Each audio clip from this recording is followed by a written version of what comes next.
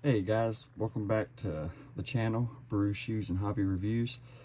Today we've got a Georgia lottery ticket that we picked up with the winnings from the last video's free ticket. So uh, I'm gonna share this one with you guys. Hopefully uh, we have a runner of luck. Uh, this one is a $5 Holiday Hundreds ticket. Uh, you can win up to $100,000. The game is played uh, by matching any of your numbers, which will be at the top. Uh, and if you do, you win the prize shown. If you reveal a Santa's hat symbol, you instantly win the prize shown as well. You've also got two Fast 100 opportunities. Uh, in those, you'd be looking for a money symbol.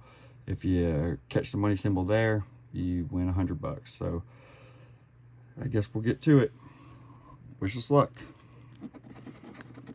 Our numbers are 6, 17, 28, and 1. Ooh, I like 1. I, I've only won on a lottery ticket with the number 1 once.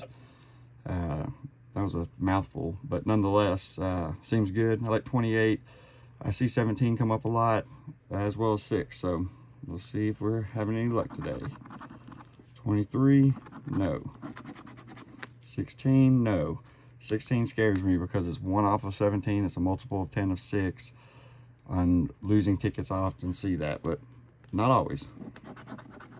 12, no. 4, no. 22, no. 13, no. That's my little girl's favorite number. 2, no. Uh-oh. 20, nope. 7, no.